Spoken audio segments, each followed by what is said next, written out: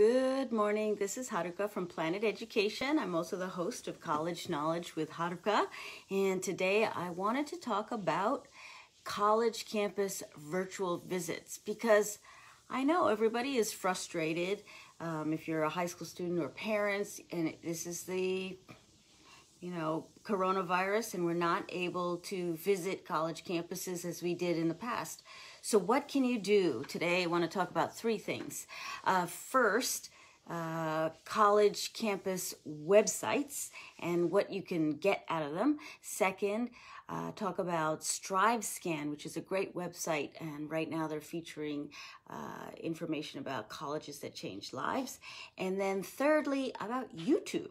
All right, so let's get started. First thing, I uh, last week there was uh, the annual UC College Counselor Conference. I know that's a mouthful, but in um, and this year was all virtual. Literally thousands of counselors all over the state of California and beyond attending to get updates on the latest and greatest on the campuses. And one of the things uh, students need to know is that fall is the season when college reps, uh, admissions reps travel all around the world, and that's when we have, that's when the schools have um, open houses and information sessions. It's like a big information blast that they have. And this year is no different, except that it is during, it is, uh, everything is virtual. So, um, there are virtual open houses, virtual information sessions. So that's like, you know, kind of like Zoom, but, and there'll be an admissions uh, officer. Sometimes there are student panels and they'll share information about their, uh, their academic programs, uh, student life, admissions process, financial aid, all of the things that you would typically have in a live session. Mm, you can also sign up for a virtual tour. Not, um, and schools are just beginning to do this. UC campuses included, where you know you may have seen before if you go into the UC or any campus admissions website, there's like a calendar and you can sign up for tours. Now you can still continue to do that, uh, and they have pre-recorded tours as well as um, live tours. So you would be able to sign up, and there would be an uh, there would be a ambassador on campus and they would walk you through the campus. So I know it's not the real deal, but it's getting there. They're trying hard. And so I encourage you to do that. You can register. There is a capacity issue.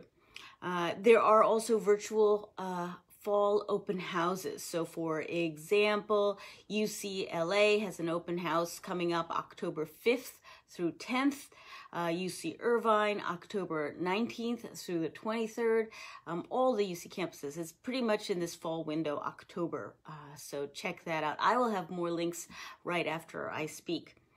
Second, I want to tell you about StriveScan. StriveScan is a company, it's an independent company that has partnered with the big uh, organizations like NACAC and WACAC. These are uh, college counseling organizations, and they have they have a great platform for um, for video recordings of students. So right now this week they have they're featuring uh, their partnership with colleges that change lives. If you are not familiar like let's say you you you are a student or you have a student who's not a straight a student or is somebody who needs frankly a little bit more support and i think that's really an important factor to consider during coronavirus um, but here, like, this is a book called Colleges That Say Change Lives, written by uh, Loren Pope, and it's about 40 schools that you've never heard of before. That might be helpful if you have a student that needs a little bit more support.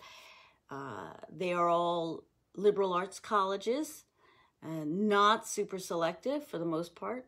Um, most of them are test optional and you can by watching some of these videos you can understand uh, the value and how a student might might benefit from it right? Because every student every school has some pros and cons and there's not one size fits all.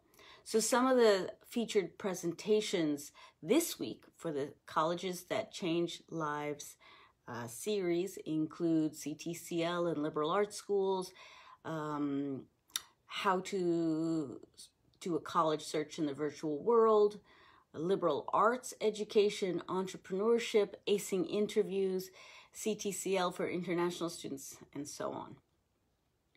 And I'll have that link on the bottom too.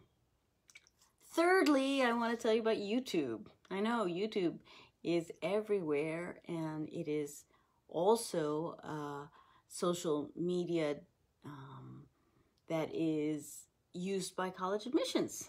So basically, every college has a YouTube channel.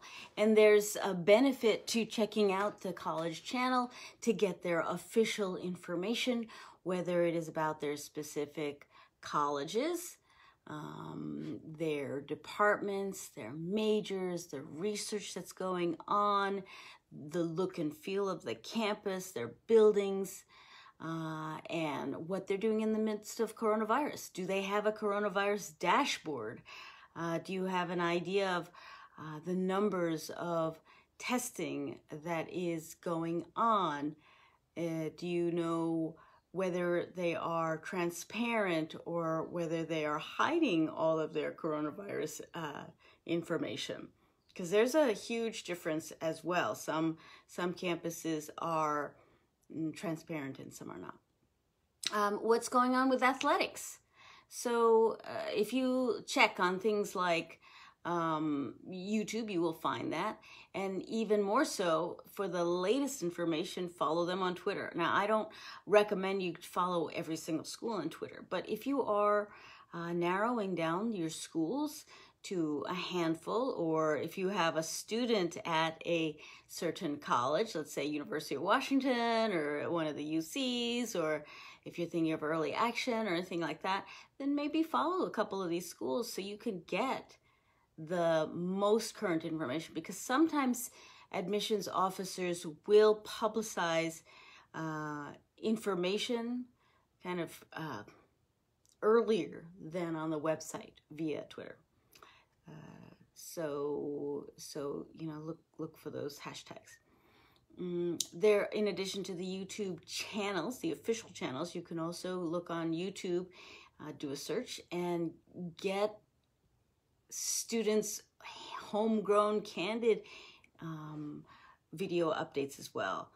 And there's a beauty to that. They they tell it like it is. It's no, there's no marketing spin on it it's not it may not be as slick but you will get the real deal from you know um, individual students so whether it's a dorm tour campus tours dining or moving in right now a lot of kids uh, they are loading videos on youtube about what it's like to start or move into a college campus in the middle of coronavirus. Yeah, so everybody's wearing masks. This is what social distancing is like. I had to say goodbye to my parents. They couldn't come inside my dorm, um, or like they had to have staggered, um, you know, move-in dates. Um, in the case of some East Coast schools, they had quarantine, right? So I know that in the case of Cornell, you had to stay in New York State for two weeks if you were from one of the schools on the, um, you know, the, the, the, quarantine list. There were 36 schools at one point, 36 states.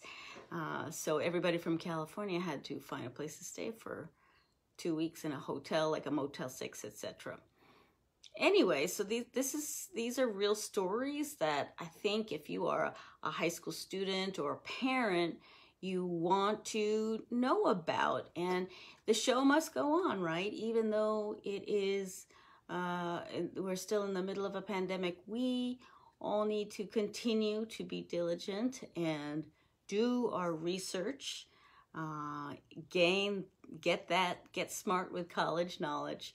So again, uh, just recapping, the UCs have all this information online about, uh, you know, college admissions, so dig, dig deep there.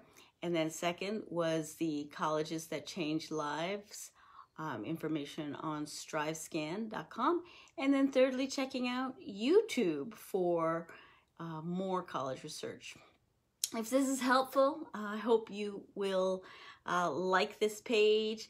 Uh, if you have questions, um, go ahead and put some questions down. I'll be happy to answer them. And check out my college knowledge webinars. I will be, you know, those are available as well. All right, so hope that helps. And I will uh, see you next week. Bye bye.